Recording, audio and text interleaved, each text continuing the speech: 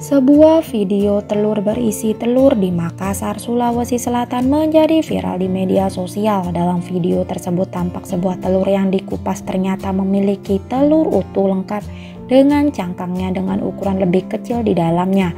Menurut ahli penyebab telur tersebut berisi telur utuh akibat keadaan induk ayam mengalami stres. Berikut ini adalah beberapa faktanya.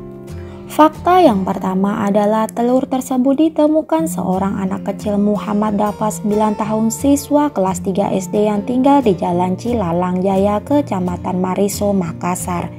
Pada Senin 3 Februari 2020, menemukan kejanggalan pada telur yang diakupas Suryati, ibu Dafa mengatakan telur yang berisi telur itu itu ditemukan saat anaknya hendak memakan nasi kuning. Suryati menjelaskan telur yang ditemukan anaknya tersebut ukurannya lebih kecil namun telur tersebut cukup berat dan tidak mengapung bila dicelupkan ke dalam air. Fakta yang kedua adalah diduga karena induk ayam stres menurut Kepala Laboratorium Produksi Ternak Unggas Fakultas Peternakan Universitas Hasanuddin Makassar Dr. Wempi Pakiding, fenomena telur yang berisi telur utuh bukanlah fenomena baru.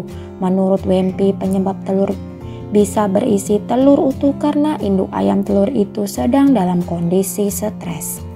Fenomena kelainan itu muncul pada saat ayam misalnya stres psikis atau stres fisik sehingga dalam perjalanannya proses pembentukan telur itu tertarik kembali ke atas sehingga dia terbungkus lagi kembali. Fakta yang ketiga yaitu aman untuk dikonsumsi.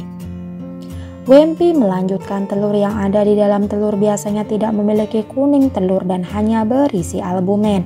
Hal ini membuat telur tersebut juga memiliki struktur yang lebih keras. Yang membedakan itu jumlah atau volume pada albumennya. Kalau kita perhatikan telur yang besar itu ukuran kuningnya itu relatif sama dengan biasa. Yang membedakan cuma albumennya. Jika tetap dikonsumsi itu tetap aman, itu cuma proses pembentukannya saja yang tidak normal.